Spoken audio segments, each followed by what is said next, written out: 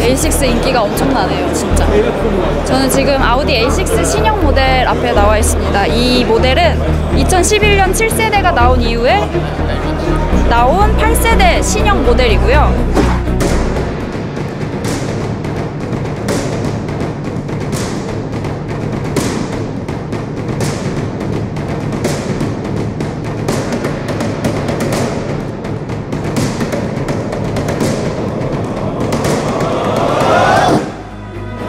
디자인과 뭐 실내 전반적으로 모든 부분이 다 바뀌었어요. 그래서 예전에는 그냥 좀 이렇게 모니터 살짝 튀어나와 있고 구식의 느낌이 강했는데 저기 dual 터치 스크린, 그러니까 터치 스크린을 위아래로 이렇게 둬가지고 모든 것을 거의 터치로 조절할 수 있도록 했고 이게 터치하면은 잘 안, 직관성이 떨어질 수도 있으니까 haptic과 음향 것도 넣어가지고 좀 더 직관적으로 만들었다고 하네요. 뭐 눌렀을 때 알아차릴 수 있도록.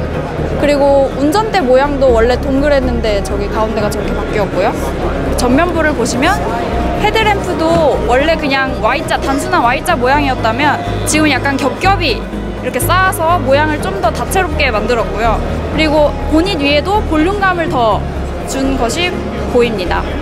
그리고 측면 쪽을 보시면 원래 이렇게 캐릭터 라인이 한 줄만 가 있었는데 지금 약간 더 볼륨감을 준 라인들이 추가되었고요. 그리고 후면부의 테일 램프도 굉장히 많이 바뀌었어요.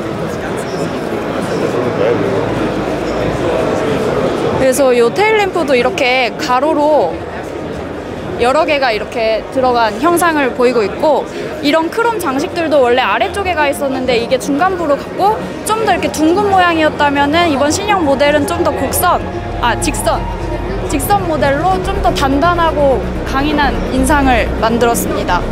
네. 그 실내를 들어가 보고 싶은데 사람이 너무 많아요 지금. A6는 더 보고 싶은데 너무 보기가 힘듭니다. 그래서 지금 여기 전시되어 있는 거는 아마 3.0 디젤이랑 3.0 가솔린 모델 두 개가 나와 있는 것 같은데. 네, 두 개가 나와 있고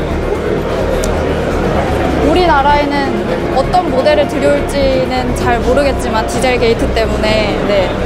아무튼 완전히 새롭게 바뀐 A6를 살펴봤습니다. 네, 다른 부스로 가보시죠.